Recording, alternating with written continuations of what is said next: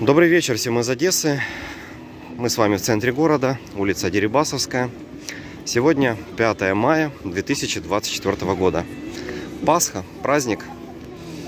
Вот, но народа, честно говоря, как-то не особо и много сегодня на Пасху. Посмотрите, совсем, совсем, совсем мало. Прошлую неделю, по-моему, да, когда у нас была реконструкция пасхальных событий, вот тут движение было просто, просто сумасшедшее.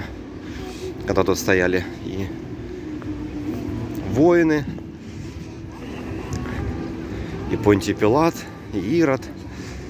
Ну, полностью вся была реконструкция. Много народа было, просто очень много. А это что-то совсем никого нету. Такое вяленькое, вяло текучее движение.